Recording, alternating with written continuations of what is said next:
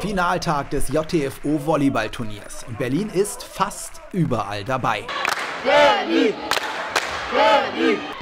Mit Ausnahme der jüngeren Mädchen haben sich alle Teams des Schul- und Leistungssportzentrums Berlin bis in die Endspiele geschmettert.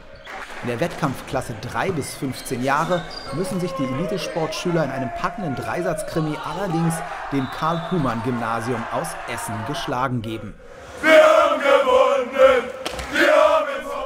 Bei den älteren Jungs bis 17 Jahre hat das JTFO-Finale SLZ Berlin gegen das Ignaz-Teschner-Gymnasium aus Dachau besondere Brisanz. Erst im April standen sich die meisten Spieler mit ihren Vereinen im Finale der deutschen U18-Meisterschaft gegenüber, mit dem besseren Ende für die Bayern. Und auch in der JTFO-Vorrunde gewannen die Süddeutschen. Kein Wunder, dass die Berliner doppelt heiß sind auf eine Revanche. Teamleader Erik Röhrs weiß, wie es damit klappen könnte. Es wird auf jeden Fall darauf ankommen, dass wir die Annahme stabil halten dass wir auf jeden Fall im Block äh, sehr gut und schnell arbeiten und schnell die Hände rüber, äh, übers Netz bekommen, weil die sind wirklich sehr, sehr hoch im Angriff. Und ja, eigentlich wird es äh, über die kämpferische Leistung, denke ich mal, von uns hinauslaufen. Die Berlinerinnen bekommen es mit einem starken Team vom Pascal-Gymnasium Münster zu tun. Auch hier sind die Gäste leichter Favorit.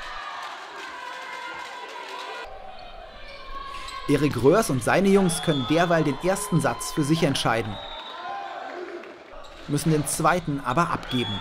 Nach dem JTFO-Modus bedeutet das Tiebreak bis 15 Punkte.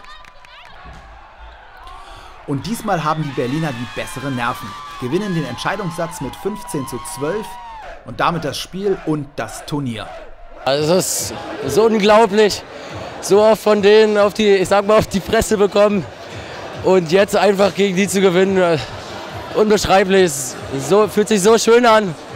Es, gibt, also, es ist ein unbeschreibliches Gefühl. Auch die Mädchen müssen in die Verlängerung, in der sich letztlich die Münsteranerinnen durchsetzen. Herzlichen Glückwunsch.